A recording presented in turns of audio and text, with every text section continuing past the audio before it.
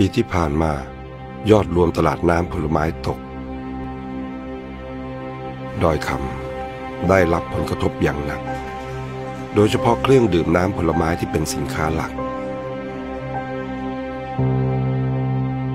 แต่เรายังได้กำไร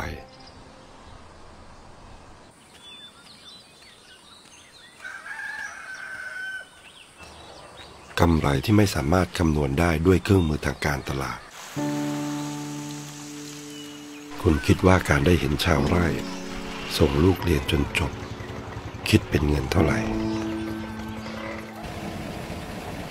พ่อที่ไม่ต้องเข้าไปทำงานในเมือง ไม่ต้องทิ้งลูกสาว คิดเป็นเงินเท่าไหร่ ลูกชายที่ได้กลับมาทำงานที่บ้านเกิด คิดเป็นเงินเท่าไหร่ ได้พลิกดอยฝิ่นเป็นดอยเกษตร เป็นป่า เป็นแหล่งอาหารที่ยั่งยืน คิดเป็นเงินเท่าไหร่ ได้มีความเป็นอยู่ที่ดี มีศักดิ์ศรีในการเป็นเกษตรกร ได้กินดี มีสุขภาพดี คิดเป็นเงินเท่าไหร่ มีเรี่ยวแรงทำมาหากิน เลี้ยงดูครอบครัว คิดเป็นเงินเท่าไหร่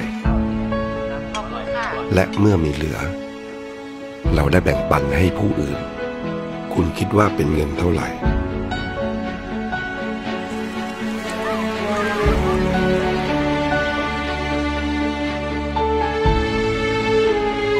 ไม่ว่าพรุ่งนี้สถานการณ์จะเป็นอย่างไร ดอยคำจะยึดมั่นในคำคำนี้